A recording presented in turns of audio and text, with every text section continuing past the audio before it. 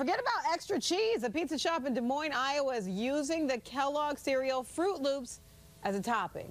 The pie is dubbed Loopy Fruits. The breakfast cuisine includes a sour cream and cream cheese sauce. It's topped with mozzarella, Froot Loops, and drizzled with Greek yogurt and condensed milk. The pizzeria's owner says it's causing quite the stir. Liam and Brianna.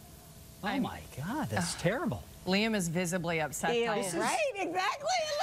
It looks What is gross. what I is this anarchy? I know. Is this Don't anarchy? the images again. Let's see them again. I know it's terrible. Why it's can't, terrible. Why It's can't we do a breakfast pizza with bacon and eggs and like some scallions or something? I don't know. Yes, like real breakfast pizza. I know it is not meant to be mm. combined Come with on. cereal. Just no. So